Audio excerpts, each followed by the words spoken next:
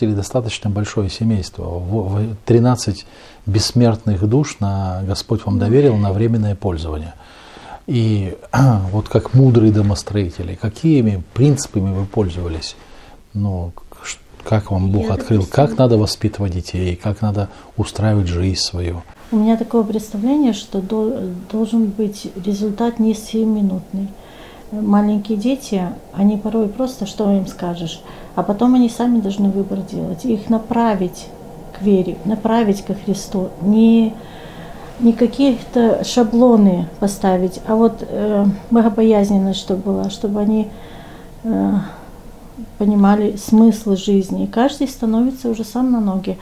А бывает, что в процессе вот э, где-то подростки, они, может быть, не так себя ведут, как нам хотелось бы, но это не значит, что мы их меньше любим или э, в чем-то ограничиваем. Вот именно э, направляем на то, чтобы они сами выбирали, взвешивали и сами выбор делали куда идти, в какой кружок, допустим, участвовать, где можно, а где нам не совсем прилично.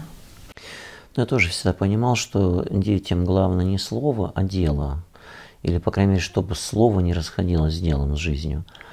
И тогда, ну да, когда маленький ребенок, там проще поставить границы, нравоучения или наказание, и будет послушание. Но когда вырастет, останутся ли вот эти ну, желания родителей его принципами жизни, это только уже когда вот действительно ребенок жил и видел, что здесь Бога присутствие, здесь благословение. И вот с этого пути ну, не стоит уходить на какие-то экспериментальные пути. И вот тогда, входя в возраст, в, ну, в какой-то у каждого ребенка он свой, это уже будет сознательный выбор, Э, держаться Господа.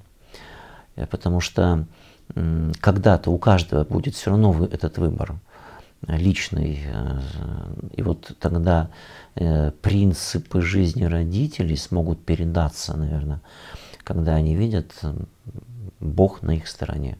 И тогда хочу, чтобы этот Бог, который вел родителей, был моим Богом. Вот одна мама мне задала вопрос, как подружиться со своими детьми. У вас это получилось? Да, мы все прилагаем все старания, чтобы с ними дружить.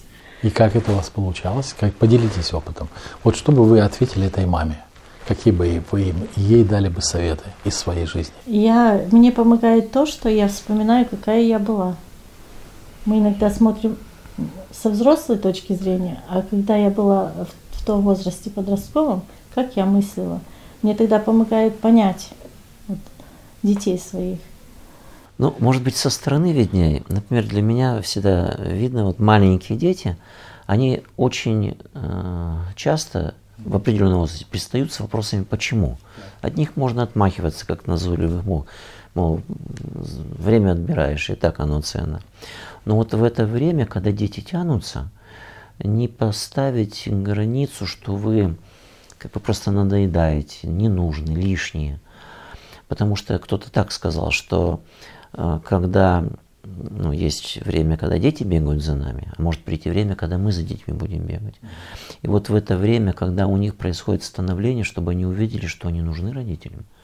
Не только в хозяйственном плане, там, помыть посуду, потереть полы там, или что-то по хозяйству помочь, а именно э, есть у родителей время ответить на эти почему, посидеть там уроки, поделать или еще что-то. Но у нас как-то, может быть, сейчас э, мы меньше, но как бы эстафету взяли старшие дети. Там и пение разучивают, и занимаются по музыке. То есть, ну это уже, ну как бы задан курс был в свое время.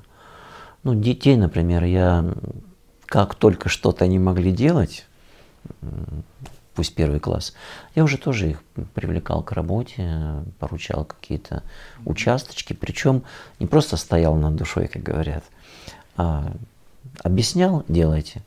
Но прихожу, все не так сделано. Ну а почему ты так делал? Не как я сказал. Ну, начинается там рассуждение. Ну, поэтому вот в это время, когда дети ищут, не стать чужими. Это один момент. А с другой стороны, дети тоже же они смотрят принципы, какие, какие, по каким принципам папа с мамой живут. Вот это упование на Господа. Я помню, у нас был момент, после общей молитвы вечером, встаем с колена, дети не расходятся. Понял, у них есть вопрос какой-то, что они говорят, папа, мы решили, что так жить нельзя, ты должен поменять работу. Ты можешь гораздо больше зарабатывать. И я говорю, ну посмотрите, а чем плохая работа? Вот с этой работы Бог, Бог дал нам дом построить, дом молитвы. Но все равно сейчас другое время. Но какое? А Бог-то тот же остался. И вот стал говорить, что дело не в цифрах дохода, а как то малое, что есть, Бог благословляет. Ну и как-то получилось детей убедить, что, в общем-то, дело не в работе, а в уповании на Бога. И вопрос перемены, что папа поменял работу, не стал. Ну, у меня работа была, пусть малооплачиваемая, но она зато, зато свободная была в плане работы в доме молитвы, в плане посещений братских, там, других церквей, различных курсов, мероприятий братских. То есть в любое время я мог быть свободным. Для меня вот эта свобода была приоритетом в выборе работы. А то небольшое, что было, Бог дополнял и умножал, и, или даровал мудрость правильно распорядиться. И поэтому дети, видя наглядно, как э, вот это живое упование на Бога было, они подражали.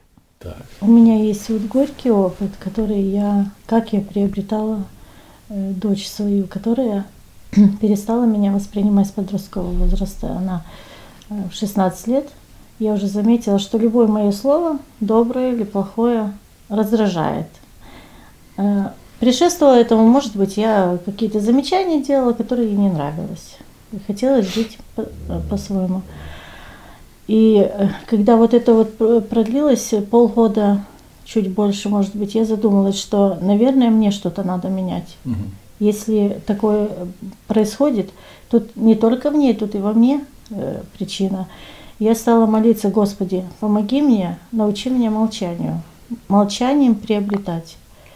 И просто себя сдерживала и молилась. И какое-то время у нас даже не было никаких разговоров.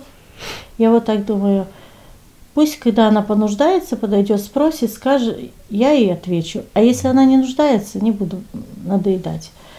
Наверное, года два вот продлевалось такое вот э, а потом я заметила, что расположение появилось. И вот э, Бог э, вначале во мне достиг, а потом уже и приобрел ее, и принял крещение, и замуж вышла. Есть еще есть некоторые моменты, что объединяют семью. даже это раньше не придавал значению. Вот дети сейчас некоторые там, вышли замуж, женились, разъехались в другие даже города у нас. Но, тем не менее, на Новый год все съезжаются, хотя и затратно. Например, старший сын в Евпатории живет с женой, с ребенком приехал в это, на Новый год. Другой сын с Курска, а там старшая дочка с Петербурга с тремя детьми. Ну, понятно, что с младенцами ехать в такую даль – такие затраты, то всегда можно найти причину, сказать, мы не можем, там болезнь, там нехватка, еще чего-то все. Но если дети едут, значит влечет, значит в этот разрыва не произошло. И тут не то, что мы сказали, приезжайте, совершенно нет. Но вот есть что-то такое, что родительский дом для них остается ценностью.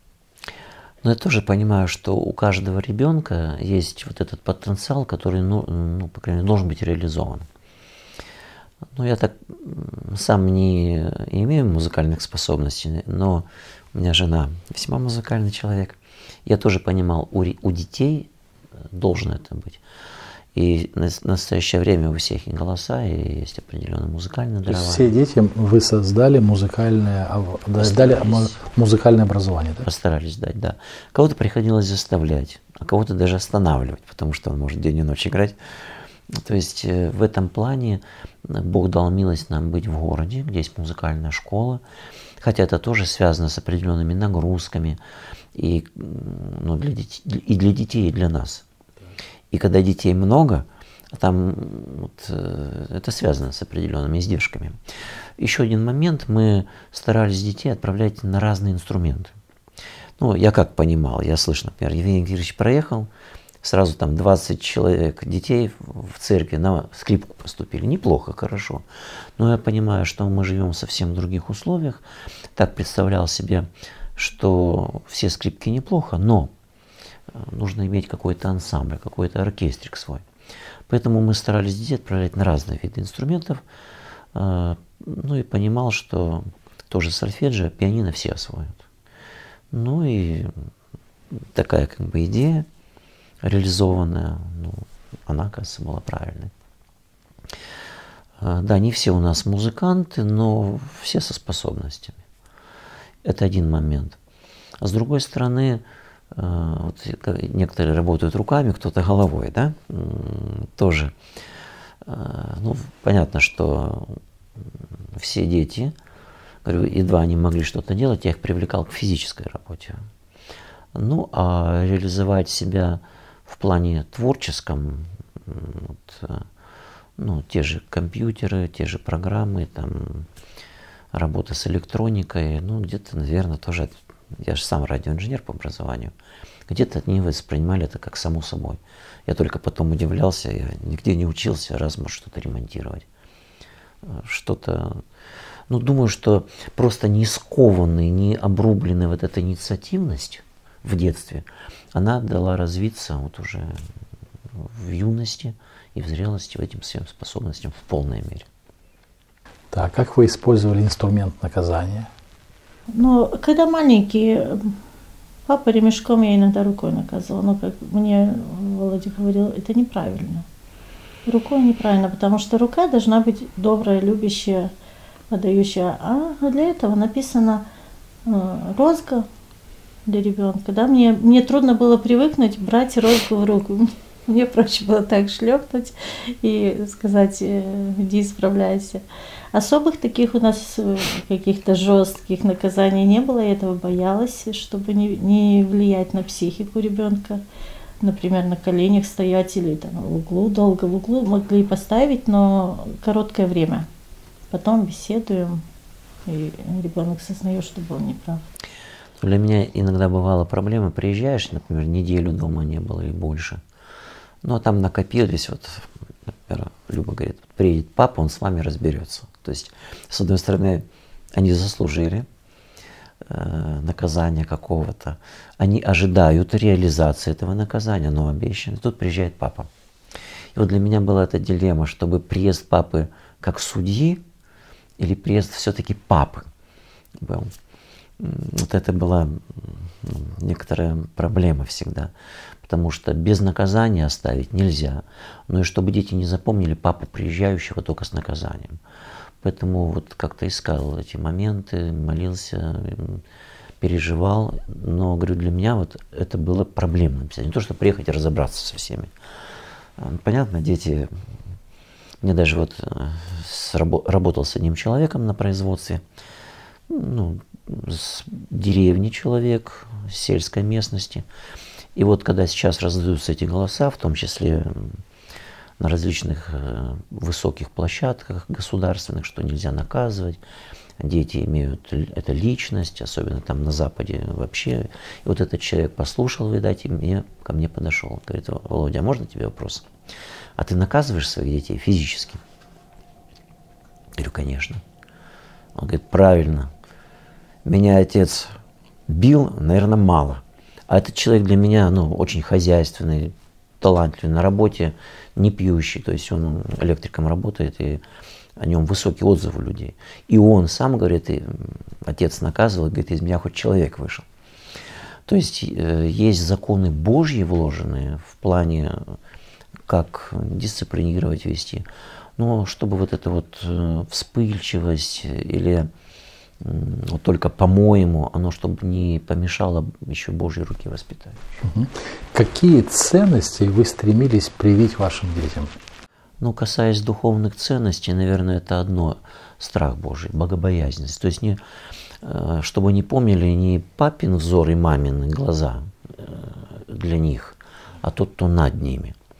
Вот это старались всегда передать, потому что пока ты здесь, можно любое послушание добиться. Чтение Слова Божия, молитвы общие, молитвы э, в своей комнате.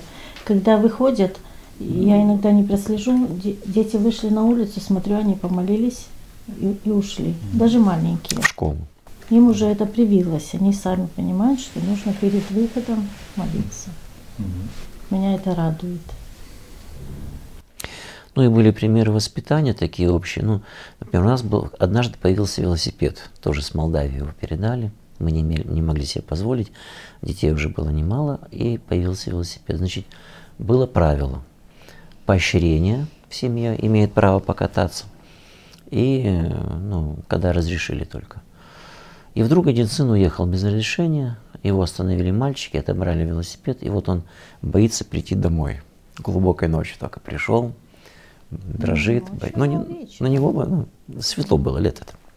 Ну, для нас это поздно. Мы его уже искали даже.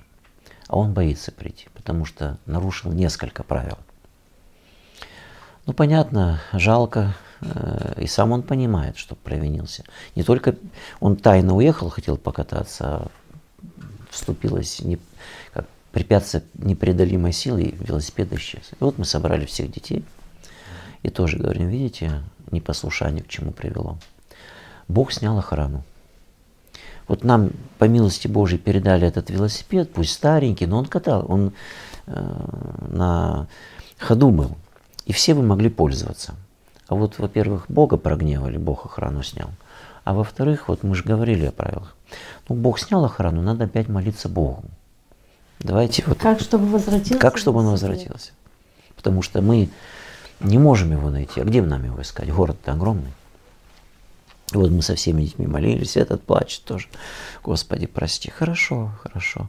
И вот мы помолились, Господи, вот как ты снял охрану и забрал ли у нас этот велосипед, так же его открой, отдай. Вот так мы с детьми помолились. Буквально на следующий день. Люба идет по городу, навстречу двое мальчишек катят велосипед, колесо проколото. Смотрит наш велосипед, она его... И вот... Я говорю, э, мальчики, это ваш велосипед? Да, наш.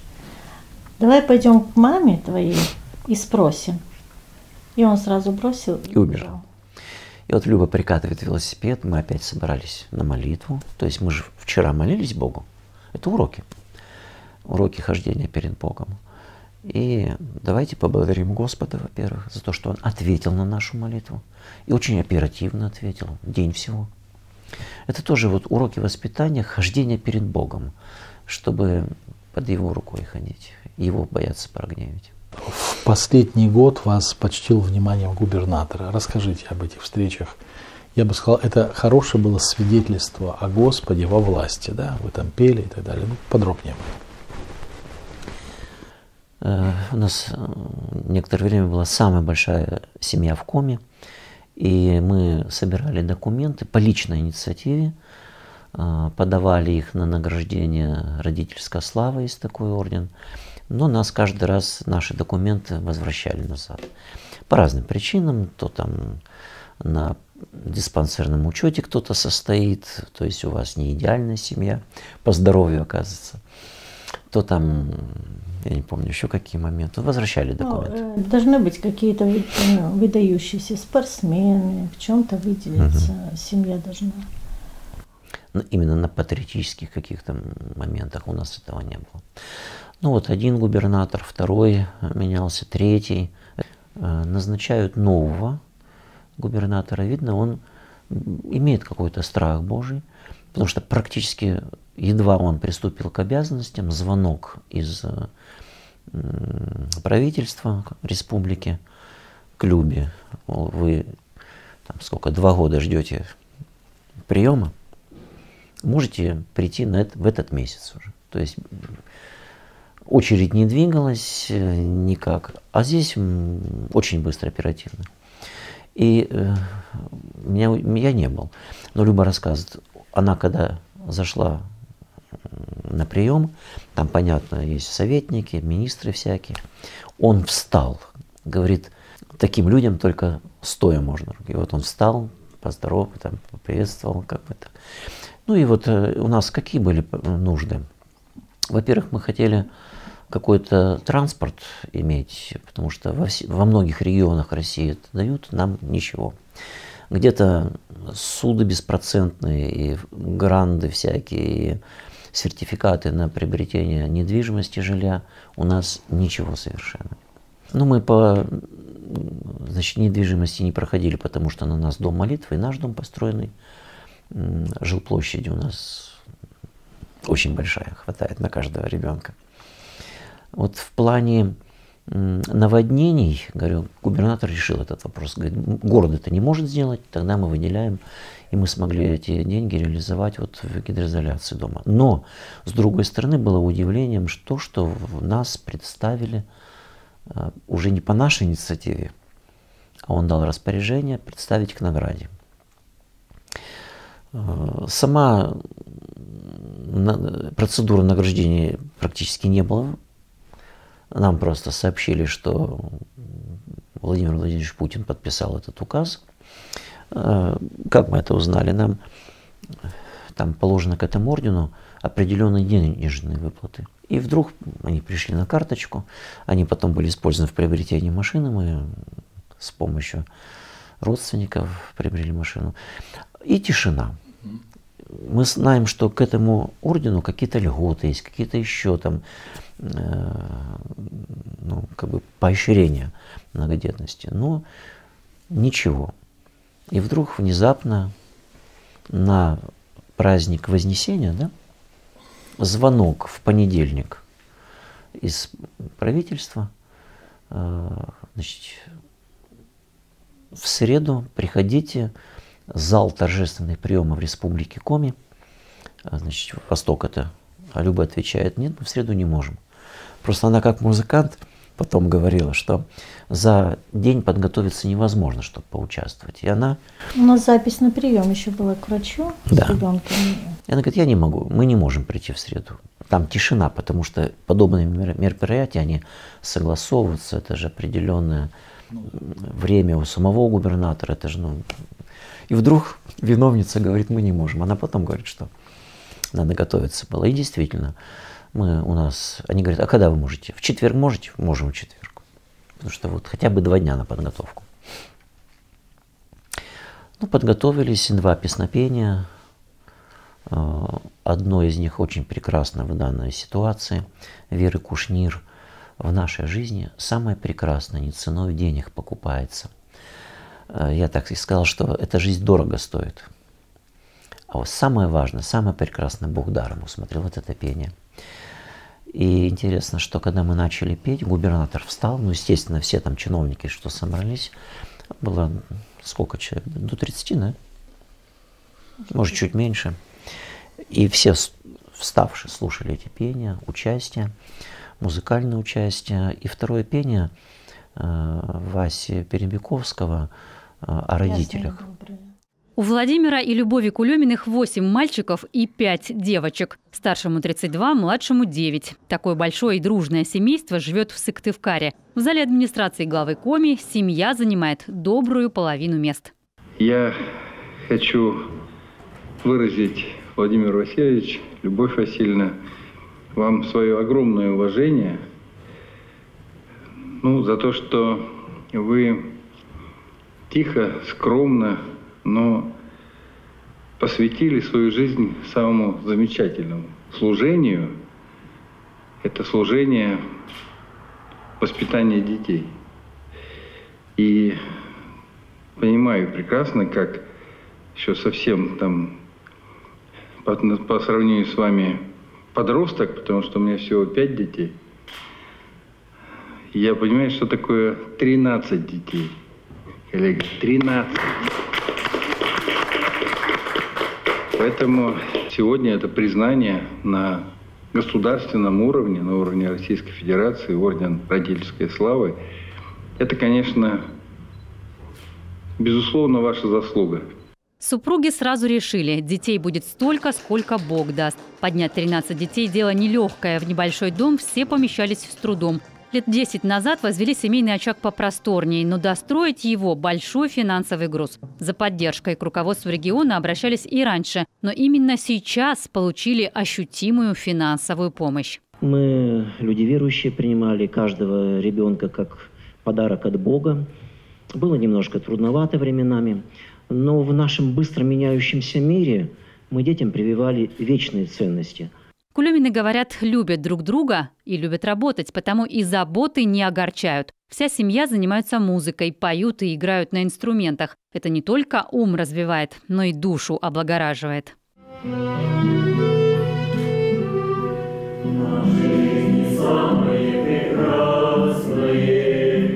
Отдых для семьи – это выезд на природу. Дети с удовольствием учатся, четверо в вузах, трое живут в других городах России. У старшей дочери уже и своих трое детей. И, конечно, правила воспитания, как у мамы с папой. Во-первых, э, любовь между собой. Да? Дети смотрят на нас, они э, учатся не по словам, а больше по делам. Если что-то у нас какие-то минусы, они это сразу замечают. А еще многодетная семья – это лучший способ социализации, говорят дети. Очень много ситуаций, в которых надо учиться как бы не только самому выживать, а так, чтобы всем было хорошо. Э, и э, эта школа действительно учит жизни. Помогаем мы с детства, как-то так нас родители приучили. У кого-то какой-то определенный труд в доме был всегда, распределяли. И дежурство по кухне у нас есть по дням до, до сих пор. Э, туда включается и готовка, и уборка.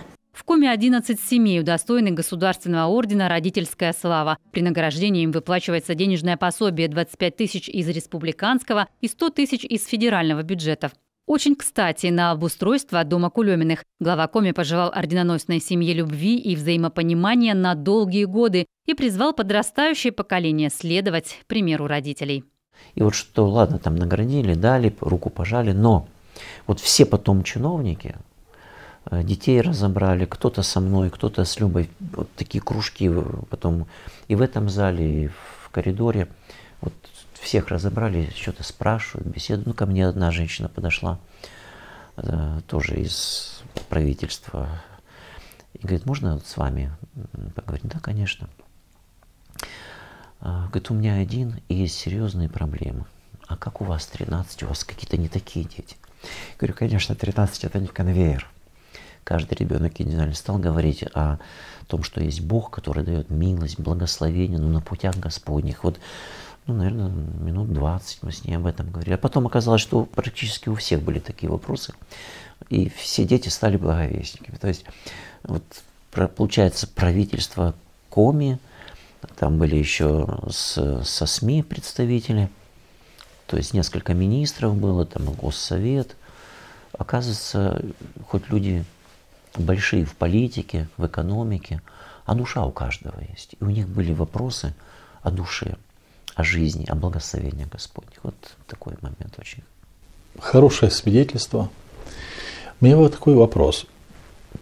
Сейчас распространяется официальная такая позиция в протестантских союзах а, руководство по душпопечению о том, о семье, о том, что заповедь «плодитесь и размножайтесь», она уже не актуальна, потому что 7 миллиардов населения важно, Новый Завет не делает акцент на многодетности, на количестве детей, на количестве рожденных детей. Самое главное – качество их воспитания. Поэтому приветствуется планирование семьи, это нормально иметь одного-двух детей. Главное внимание уделите качеству их воспитания для Царства Небесного. Я читал изданный а, отделом богословие и, богословие и катехизация Российского Союза руководство к действию. Это советы для душ попечения. У меня вопрос такой. Вот у вас семья 13 детей. Вот в чем ваша убежденность, почему э, вот, э, ну, это хорошо быть многодетной семьей в современном обществе? То есть мы сегодня имеем эти вызовы не от мира, а от религиозной среды, где меняется взгляд на этот вопрос. Вот если вам бы пришлось бы участвовать на каком-нибудь таком семинаре или в каком-то таком сообществе людей, которые мыслят иначе, какие бы вы аргументы привели в пользу того, что вот ваш образ жизни это и есть нормальный библейский, соответствующий здравому учению? Что бы вы сказали? Ну, по крайней мере, мы и в Библии находим э, яркие примеры доверие, потому что жизнь у Господа. И доверяя Господу в этих вопросах, это значит э, знать Господа библейского, Бога Библии знать, а не просто э, своих представлений. Это один момент. То есть достаточно есть и библейских обоснований. Но с другой стороны, ну, ярко, когда Бог ставит свою печать в этих вопросах. Вот помню, когда у нас только дети еще маленькие были, один сосед говорит, Володя, да что ты подумай немножко, что голытьбу рожаешь, а, подумай о будущем, свету, и ни, да, нищету по свету. А вот дети подросли, ремонт в доме молитвы был, как раз мы пришли. Буквально там день-два работы, огромный объем работ сделан. А он стоит, говорит, как в сказке у вас работа идет. Я говорю, а помнишь, ты говорил о детях-то? Да, было дело. Говорит, а где твои? Они принесены в жертву благополучия. Это один момент еще. Другое еще. Ведь не мы рождаем для Царства Божьего детей, а Дух Святой. А это делает Бог, когда мы стоим на Божьих путях, на Божьих позициях. Поэтому можем что угодно воспитать, а потом дети могут пойти по кривым дорожкам. Идея так красивая, идея, но она больше, наверное, не библейская, а такая человеческая, философская, религиозная какая. Но я вот так э, размышляю, что сила у Бога. Мы не знаем завтрашний день. Э, мы можем планировать, что вот это я смогу, а это я не смогу. И я выберу лучше это, потому что одна мне женщина сказала, мне сказали врачи, или ты избавляешься от пятого, или вы потом будете нищие, бедные, без средств существования. Я решила избавиться от пятого, чтобы четверо жили благополучно. А я вот так рассуждаю, что если Бог дает э, жизнь человеку, ребенку, значит, Он даст и позаботиться о пище, одежду, это все в его руке. Нам нужно довериться Богу и какие-то усилия применить, чтобы вот отстоять. Потому что мне вот с седьмым ребенком я ходила в положение, э, и мне сказала врач, ты подумай, он будет у вас э, лишен всяких витаминов, э, твой организм уже истощен, тебя тех надо поднять, их надо и выучить еще. А, а ты вот не думаешь совершенно. Я говорю, что, конечно, мы люди, мы ослабеваем, но мы верим, что Бог поддержит. И Паша у нас вот родился седьмой, он самый крепенький родился, в противовес тому, что говорили. И он очень благословенный у нас ребенок. И отличник всем да, учебам. Видим это тоже Божью поддержку. Угу. Какие еще есть аргументы? Э, меня как-то подвозил один брат, ну не нашего братства, диаконское служение он несет. Я узнал, у него четверо детей, ну пока ехали в машине. И вот э, я ему говорю, ну, наверное, еще будете. Он говорит, хватит, хватит, э, дай Бог этих поднять. А я стал ему говорить об уповании на Господа. И он говорит, я все это понимаю, но реалии другие. И вот мы подъезжаем уже там недалеко от где я живу. Говорю, да оставь здесь, у нас дорога плохая. Тут я дойду. Он говорит, нет, до дома. Может, зачтется. То есть человек верующий, но какие-то вот, где-то он, может, понимает, что слабинка есть. А вот все равно, когда перед Господом человек правильно ходит и в этих вопросах семейных отношений, наверное, тоже имеет свидетельство и дерзновение в Господе. Но вот ваше упование было испытано в этом вопросе? Ну, наверное, не раз было. Но, например, погружение в многодетность у меня было, как сейчас говорят, шоковое. Мы как только переехали, трое детей, рождается четвертый, через месяц после переезда. Люба домой приезжает, буквально, да, на следующий день кровотечение, скорая увозит. А я детей в руках не держал. У меня, когда в, э, в Тирасполе рождались, приезжала мама, я все в служении, в делах. Я даже не знал, как перепеленать, как, как накормить. Вот у меня там сколько, 4 или 5 дней ребенка, у меня на руках. Я, я в панике, не знаю, что делать. При, Это четвертая у нас родилась. Четвертая, да. То есть э, угроза для жизни мамочки и, и я. Тут вот. Э, так как скорая сообщила, что везла э, практически с роддома женщину, приезжают с поликлиники, поликлиники и говорят, мы постараемся завтра ребенка забрать в, детск, в детское отделение, в детскую больницу, ну, в, в отделение младенцев, да, чтобы смотреть. Но это завтра. Сейчас, говорит, мы ничего не успеваем еще. Там нужно документ. определенный документ, путь пройти. Я думаю, ждать до, до завтра. Ребенок кричит, и я взял себя в руки, так сказать, думаю, господи, надо что-то делать. То есть, ну, учились так вот. То есть четвертый ребенок для нас был такими испытаниями для меня и для Любы. Это, это только переехали. Жизнь не устроена, никаких удобств в доме. Зима как раз, январь Э, морозное все это. Это четвертый ребенок. Ну и потом менингит у Леночки. Вот Лена восьмая. Сколько? Годика и не было, да? Или был? Годы два месяца. Годы два месяца. Она потеряла сознание, мы думаем, человек спит спокойно. Ну, у него была большая температура, ночью плакала. Это утром спит спокойно, не придали значения. Ну, может, после большой температуры отходит. Потом смотрим, что-то не просыпается, пытаемся будить, не просыпается. Кажется, она в коме уже несколько часов. Сколько мы даже не знаем. А ребенок, когда годик, это э, менингит, это вообще непредсказуемо. Это последствия практически летальный исход или же ну, мозг отключается. И вот когда мы вызвали скорую, она еще долго ехала, может минут 30-40, и вот я понял, что это что-то серьезное, когда врач приехал, мы объяснили симптомы, и вот она стетоскоп вставляет в ухо и промахивается. Это же машинальный жест, да? Вставить, слушать ребенка. А я вижу, у нее рука дрожит, и она промахивается. Я понял, что что-то очень серьезное. В общем, сразу в больницу, и они мигалки и сирену включили уже, уже около дома, обычно на перекрестке. Менингит. Это как приговор какой-то. А потом подтвердили. Вначале они ее увезли и пункцию спинного мозга взяли. И в реанимацию ее. Две недели. В надо. коме была она. До... В коме сутки.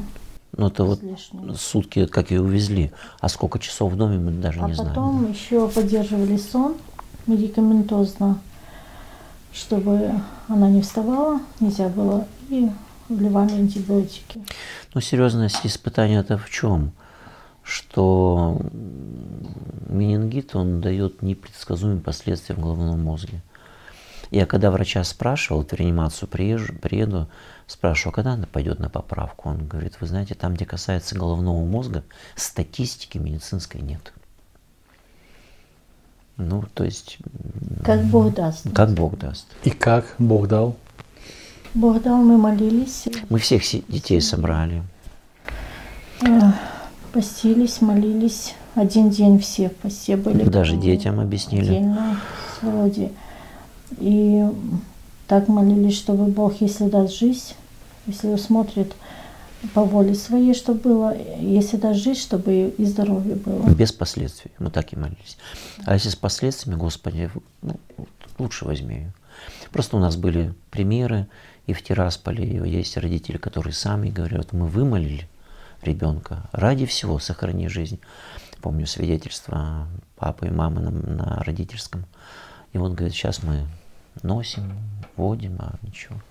И вот зная эти примеры, мы так и молились, Господи, если без последствий, ты жизнедатель, дай жизнь. То есть все в твоей деснице. И вот помню, прихожу в реанимацию, туда не пускают в боксы, а врач открывает дверцу, говорит, послушайте, она гудит мелодию какую-то. То есть она еще не разговаривала, не пела. А Это уже когда ей разрешали садиться, да. неделя прошла, после недели ей какие-то часы разрешали уже. Ну, э, и она, когда садилась, э, не вставала, она просто сидела и пела. Они говорят, она у вас поет. Как сегодня? Она уже вышла замуж. Да, 21 год в прошлом году замуж вышла в январе месяце, угу. слава Богу. Но это было испытание, серьезное испытание веры, упования. и вообще вот, будущности. Еще из области семейного воспитания один вопрос. Вот мы прививаем детям какие-то духовные принципы, да, вот э, нормы поведения. И э, дети из-за страха наказания могут э, подчиняться нам, повиноваться, но это не становится их убеждением. Меняется потом, они достигают совершеннолетия, меняется страна проживания, и человек, когда уходит из-под родительского начала, Эм, из одной матрешки вылазит другая матрешка э, под названием «Сокровенное сердце человека». Какие есть советы родителям, чтобы э, помочь сформироваться человеку с убеждением, что я так живу, потому что это угодно Господу. Я угождаю Господу внешним видом, я угождаю Господу вот таким образом жизни. И тогда обстоятельства меняются – а человек не меняется, потому что он знает, что такое ходить перед Богом. Он знает Бога, и он ходит перед Богом. И причем тут внешний контроль? Я убежден, что я этим угождаю Богу. Так вот вопрос, как в воспитании достигать убежденности? У меня такая есть мысль, что мы можем сами быть лицемерами. Вот если мы лицемеры, у нас внутри одно, мы хотим больше здесь пожить красиво, чем собирать сокровища на небесах, то дети это интуитивно они воспринимают и уже смотрят, они чувствуют вот эту вот тягу к земному, что мы э, всеми силами цепляемся за земное, да. А если для нас это вот всегда вот выбор э, Божье или человеческое, и мы делаем выбор, привязана ли я к дому этому, которым мы строили много лет, старались, смогу ли я оставить это ради Бога.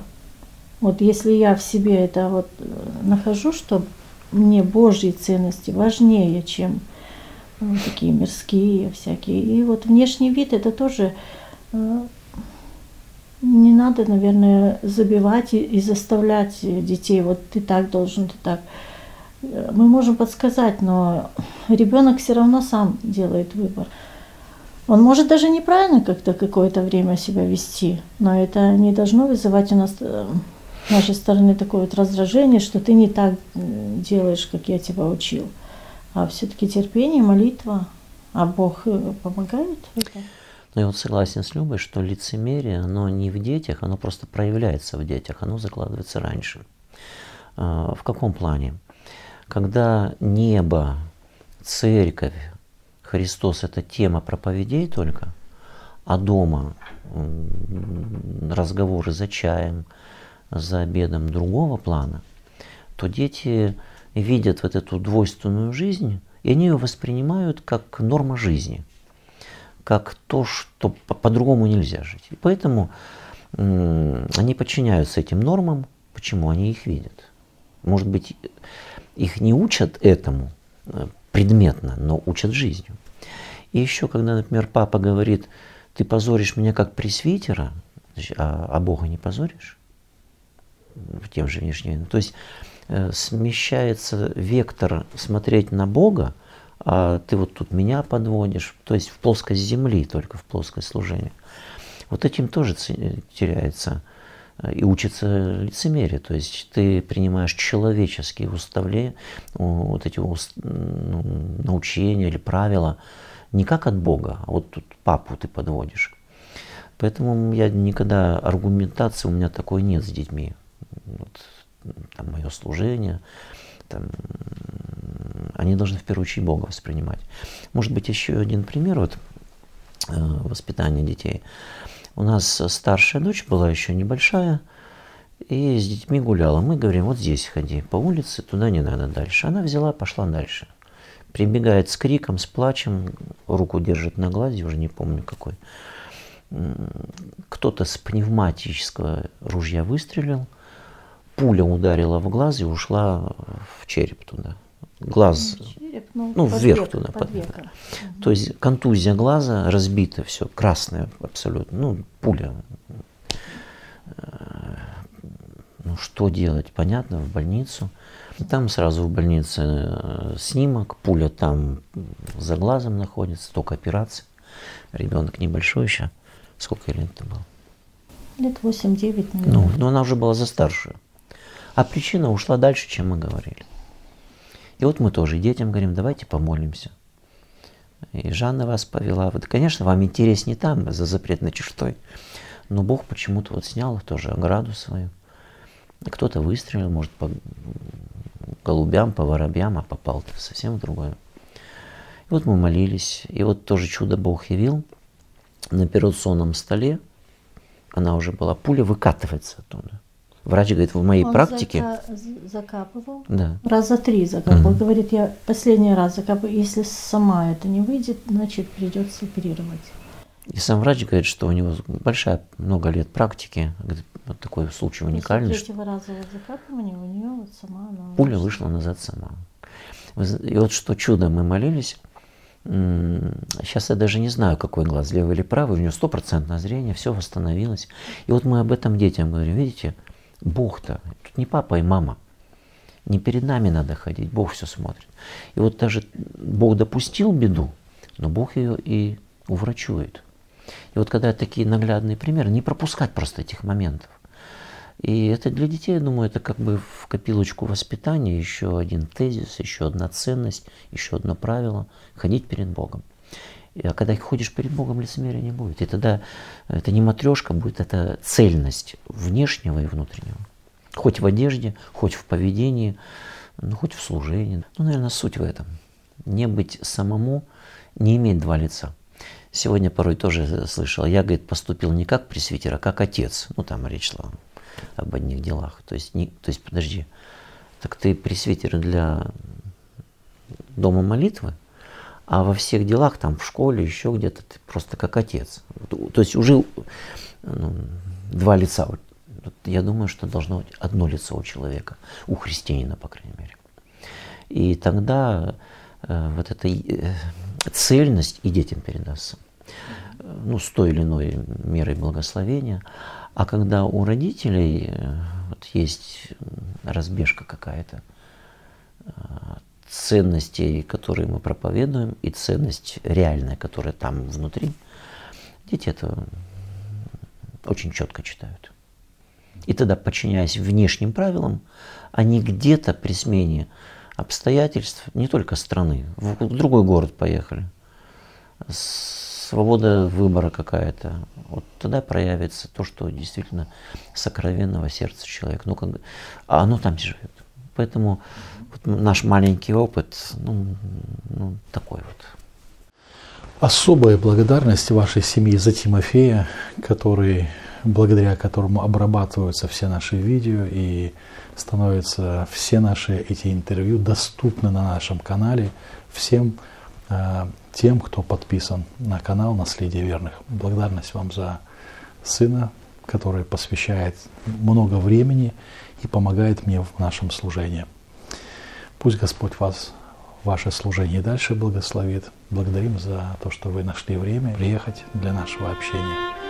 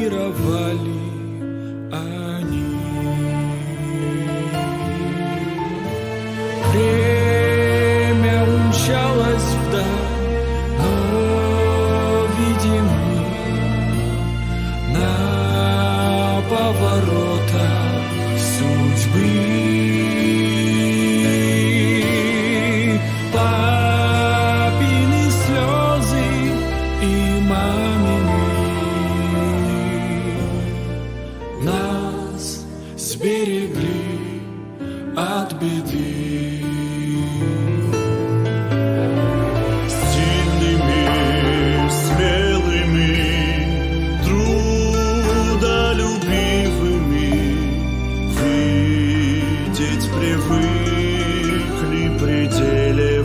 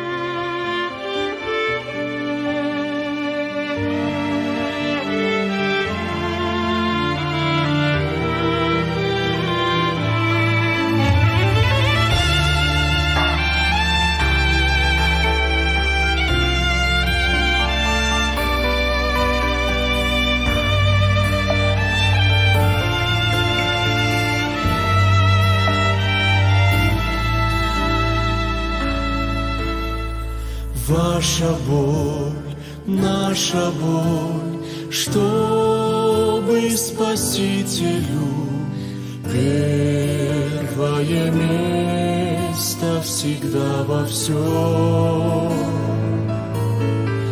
От концов всей земли хором большой семьи наш благодарный в сад.